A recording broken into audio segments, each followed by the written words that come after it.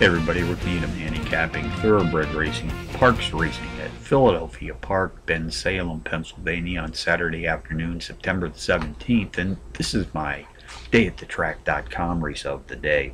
Let's take a look at race 11 this afternoon, folks, 5.01 p.m. Eastern Post Time. This is the PTHA Pennsylvania Thoroughbred Horsemen's Association President Cup Stakes. Nine furlongs on the turf, three-year-olds and up race four. A quarter of a million dollars. Contenders number three, Smart Bid.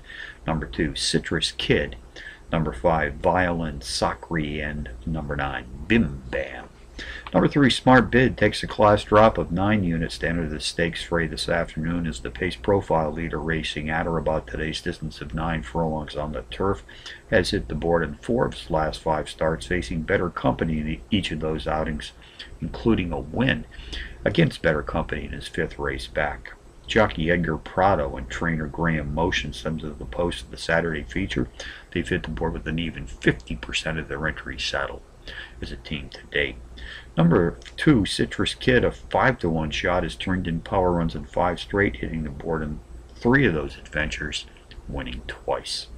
Race 11 summary, number three, Smart Bid, tops the contenders list, which also includes number two, Citrus Kid, number five, Violin Sacre, and number nine, Bim Bam.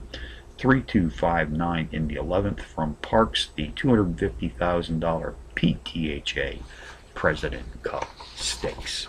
Bonus long shots, Retama Park, race 6, 10 to 1 bomb, number 9, Bonfire Romance. A Trackmaster Plus Power Pony qualifier drops in class by some 17 units. Good speed for this 6 furlong sprint.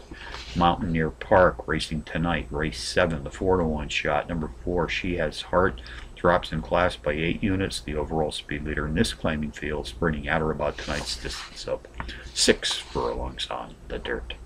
So from Parx Racing at Philly Park on a Saturday, Needham for dayatthetrack.com, reminding you as always to please bet with your head, not over.